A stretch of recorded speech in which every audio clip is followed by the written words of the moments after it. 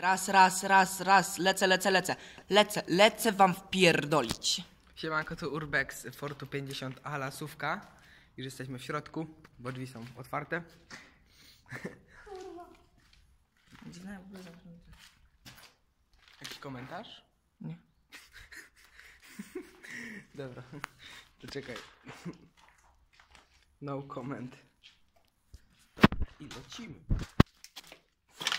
Trochę dużo śmieci. Jakieś pomieszczenia zamknięte.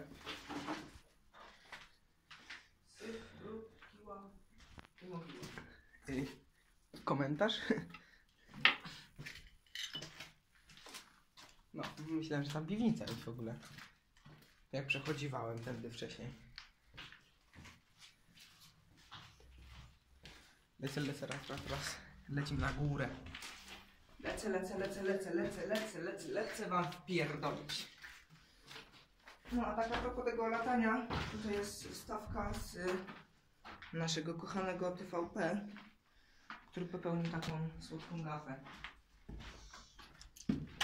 Tak, Podczas dokładnie. nagrywania- Podczas nagrywania jednego z reportaży okazało się, że któryś z kierowników z tyłu leciał nam wpierdolić.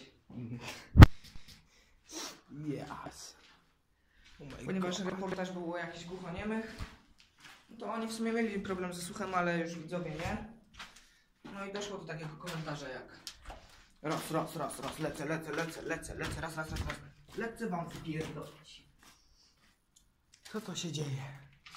Piotrek, skomentuj to jakoś. Nie. Ej. Nie bądź takim wieśniakiem. Sam jesteś wieźmak. Ja to skaczę.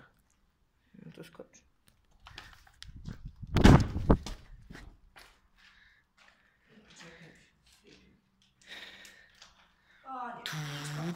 Tu, tu, tu, tu, tu, tu, tu. Zobacz